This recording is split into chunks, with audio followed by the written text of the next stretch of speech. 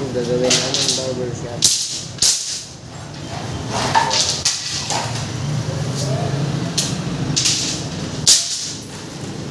Yung malapad. Ano siya? Siya.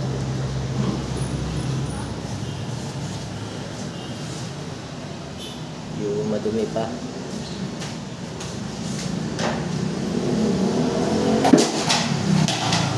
Eh, yan yung engineer. Engineer ng mga barber shop.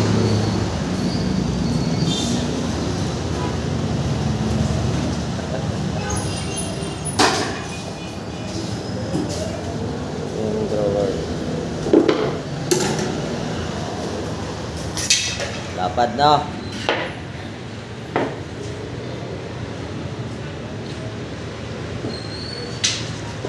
Gas na isa. Yan. Tara.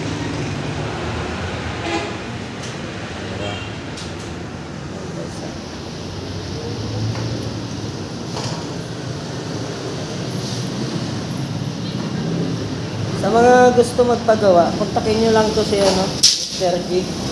Yan, napagagaling na manggagawa yan.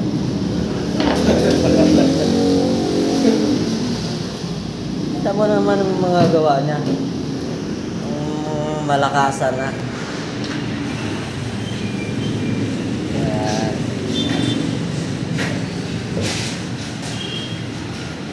Ako pa lang, siya pa lang mayroong ganitong design. Yan o. Lapad yan o.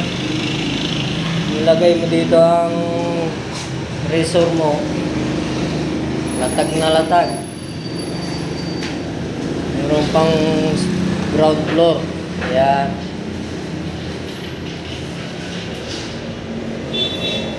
Meron pang lagayan ng ano, chinilas.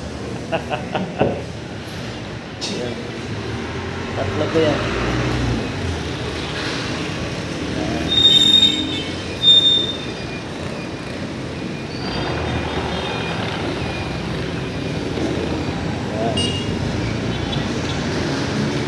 Ayan.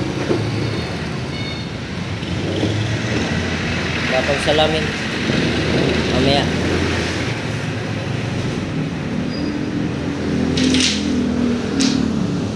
Tapos dito yung isa para apat.